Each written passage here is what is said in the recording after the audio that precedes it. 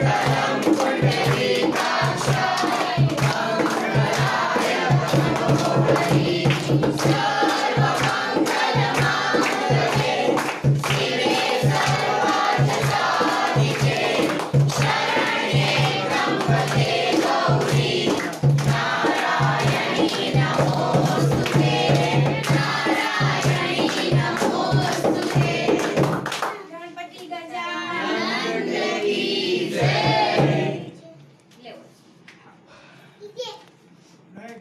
नाही बाप्पा मोर्या काही बोलावं नाही हमारा दमाल